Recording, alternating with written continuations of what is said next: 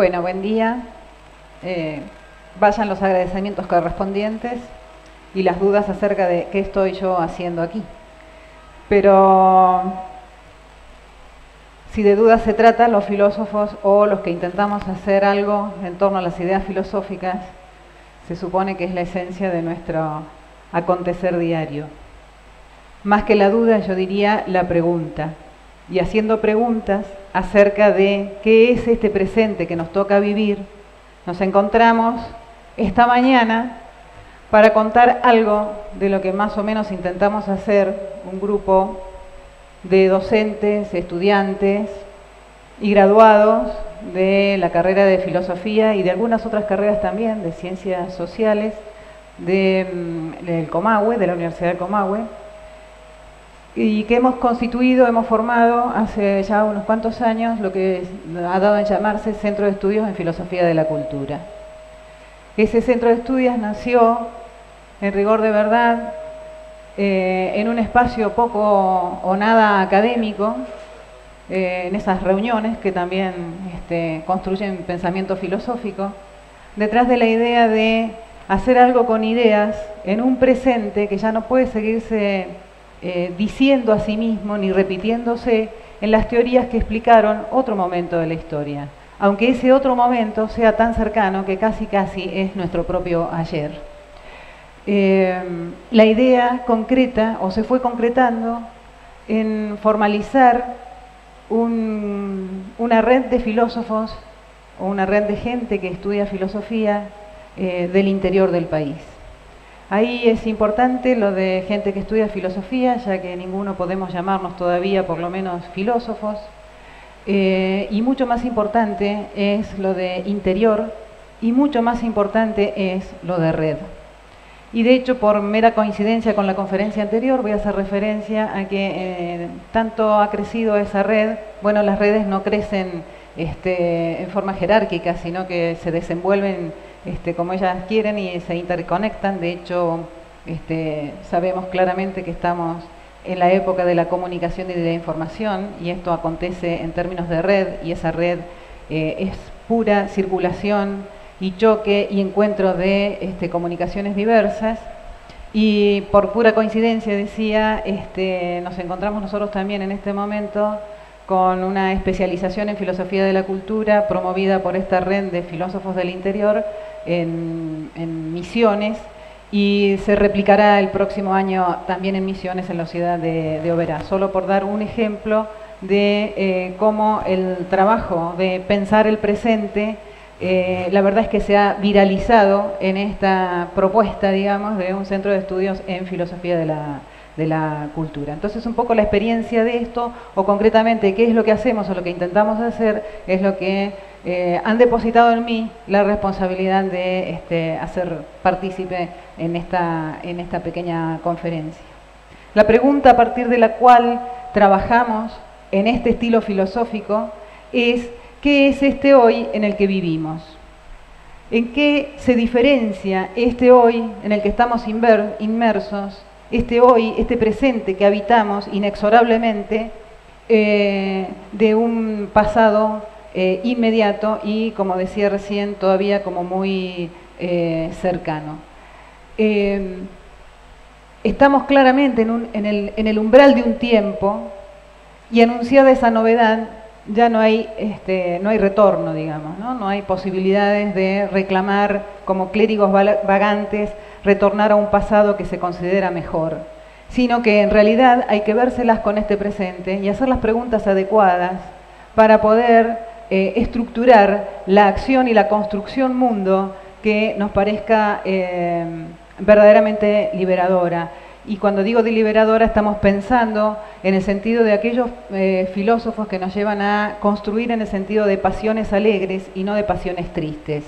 De hecho, el final de la conferencia que vimos recién nos remite a pasiones tristes que fueron las que ocuparon gran parte del siglo XX y que constituyeron modos y estilos de vida como la del encierro, el exilio y el exterminio, que es precisamente de donde eh, querríamos este, huir en el sentido de tratar de construir modos de ser y modos de estar en el mundo que nos alejen para siempre de esa eh, forma que conocimos para el siglo XX, que conocimos y que se construyó de esa manera. Entonces la pregunta para nosotros es cómo lograr hacer la experiencia de nosotros mismos, esa experiencia íntima de cada uno de nosotros mismos, en un sentido de eh, conexión en red, conexión en pasiones este, alegres, construcción de un mundo que deje de reiterarse a sí mismo y deje de, este, de reiterar precisamente las líneas de, muerte. Claramente hemos pasado del mundo de la industrialización al mundo de la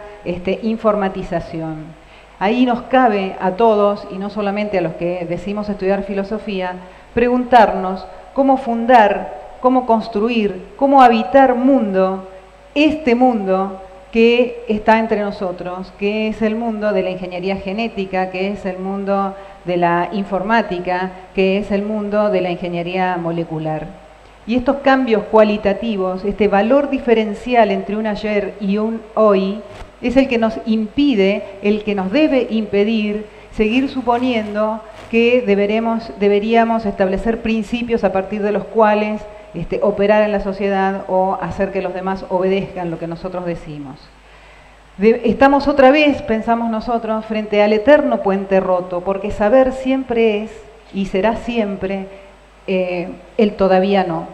No hay manera de posicionarnos de un saber que sea válido, universal, aplicable a toda situación y de hecho que este, nos dé derecho a, este, a que los demás lo obedezcan.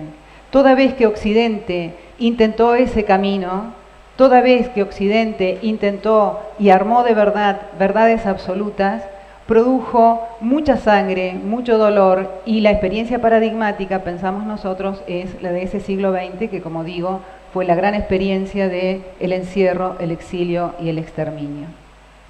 De modo tal que nos encontramos de lleno frente a las grandes posibilidades, dado que hay cambios cualitativos, no es lo mismo un mundo como fue hasta mediados del siglo XX, el que se manejaba en virtud de máquinas que tenían que ver con la palanca y la polea, a un mundo cuyas máquinas son las máquinas digitales. De hecho, no somos los mismos desde que estamos en las redes.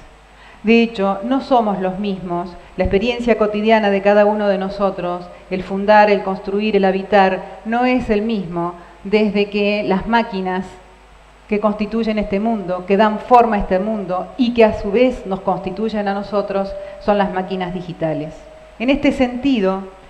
lo que decimos y lo que trabajamos fuertemente es sobre la idea o sobre la acción, más bien, de cómo pensarnos en la relación con el mundo, con los otros y con nosotros mismos, y cómo pensar no puede ser, bajo ningún punto de vista, reiterar lo ya sabido. El pensador, decimos nosotros, duerme al raso. No hay manera de estar tranquilo, no hay manera de convencerse con que hemos logrado este, la verdad aplicable, sino que todo el tiempo se rehabilita la pregunta. Es decir,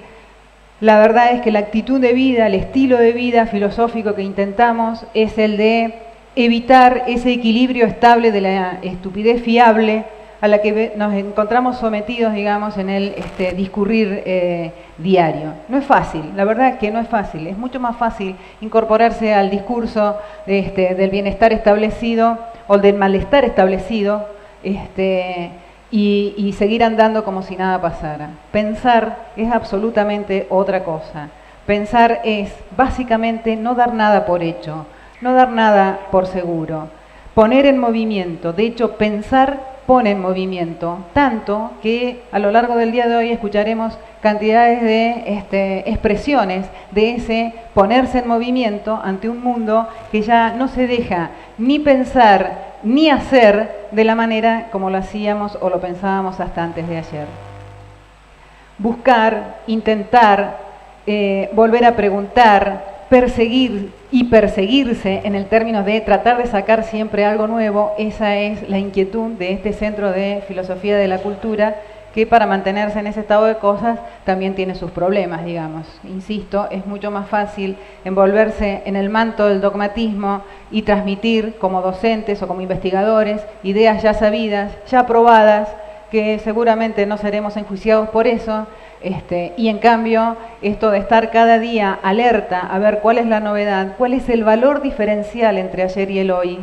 cuál es esa singularidad a la que hay que prestarle atención, o aquella singularidad que tenemos que destacar, o aquella singularidad, ese ser uno mismo, no el montón, ese ser uno mismo, y distinguir, digamos, este, entonces prácticas, ya sean de conviabilidad, prácticas de educación, prácticas de gobierno, que generen, digamos, singularidades y no masa o reiteración o este, eh, repetición. De modo tal que no adherimos a la posibilidad de que un día sabremos todo lo que se puede saber este, acerca de más y más y menos y menos y un día llegaremos a ser expertos en la nada, sino que cada día estamos, estamos este, activos en la búsqueda de un saber sabiendo básicamente que ningún saber puede empañar el no saber. Ser filósofos en todo caso, es decir, ser hombres sobre este mundo, experimentar la propia vida, quiere decir básicamente eso, quiere decir básicamente no confiar en ningún saber, sino saber que el no saber es lo que nos es este, propio, de modo tal que eh, no es el conocimiento de alguna teoría el que nos, propiciará un mejor eh, estado de, cosas, ni un mejor eh, fabricarnos a nosotros, a nosotros mismos. En concreto, si pensamos en qué depositamos esta acción del, de, cuestionarnos todo todo el tiempo acerca de cuál es la novedad, cuál es la singularidad, cuál es el valor diferencial entre una formación histórica y la otra, entre la formación histórica que ya pasó y la que ahora nos toca vivir, pensamos en términos de ya no somos sujetos del lenguaje, ya no nos expresamos ni nos constituimos en una argumentación del tenor, sujeto y predicado, sino que somos hablados, somos constituidos en la imagen. La imagen que tiene la capacidad, digamos, de construir y de formar este, realidad. La vida, que ya no es un organismo que cumple función en relación con otros organismos, sino que, como bien sabemos, también es información, es decir, imágenes que transmiten datos que construyen este, realidad. De modo tal que ahí estamos este, eh, obligados, ahí nos obligamos, en tanto centro de estudio, a este, cuestionar constantemente qué es lo que está pasando con la imagen, qué quiere decir, por ejemplo, que una imagen vale más que mil palabras, cuáles son las formas de este, liberación, es decir, cuáles son las pasiones alegres a que esto nos da lugar, qué mundos se abren, qué ventanas se abren y a la inversa también, o conjuntamente también, cuáles son las ventanas que se cierran, los mundos que se cierran y las formas de control a las que estamos sometidos cuando a veces alegremente creemos que estamos liberados porque estamos en un mundo en red o en un mundo de hipercomunicación o en la sociedad del conocimiento. Lo que queremos decir es que por el camino de pensar de esta manera, de pensar el presente, el lugar de destino no es el destino soñado este, de algún lugar este, paradisíaco turístico, no es el destino de la utopía, sino el de la multiplicidad que eh, tanta falta nos, hace, ¿verdad? El tema es que tenemos que eh, descubrir cuál es la multitud o la multiplicidad en este valor diferencial actual que nos permita, digamos, eh, constituirnos como los humanos que requerimos ser para nuestra relación con el mundo, con los otros y con nosotros mismos en términos que no nos, no nos devuelvan al encierro, al exilio y al exterminio, que como decíamos al, inicio, ha sido la experiencia del, siglo XX. Estamos, eh, bueno, los los tiempos se consumen y los tiempos se consuman, eh, de modo tal que lo que quiero dejar para el final es esta cuestión de que estamos de nuevo en la situación de pensarnos, en esto de pensarnos de, nuevo, de volver a definirnos como humanos y de volver a instalarnos en otro, en otro mundo. Las condiciones están dadas. ¿Qué haremos con esto? Dependerá de este, lo que intentemos hacer, insisto, en términos de pasiones alegres o de pasiones tristes. Estamos de nuevo ante la llamada que, insista que incita, que pide un tipo de sensación y de sensibilidad específico. La pregunta es, ¿cómo habitar este territorio? Y a la par, ¿cómo no hacerlo? Gracias.